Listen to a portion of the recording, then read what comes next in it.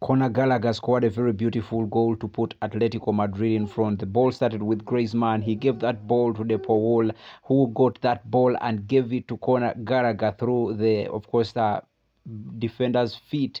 Conor Gallagher skipped and then put that ball past the goalkeeper beautifully, and he went into the celebrations. The goal started with Griezmann onto De Paul and then Conor Gallagher. Tell me what you guys think about that goal. I think uh, Conor Gallagher has arrived at Atletico Madrid and the Atletico Madrid fans should be happy for Conor Gallagher. Tell me what you guys think. Drop a like, drop a comment and don't forget to share for more of these updates. I love you guys. Peace out.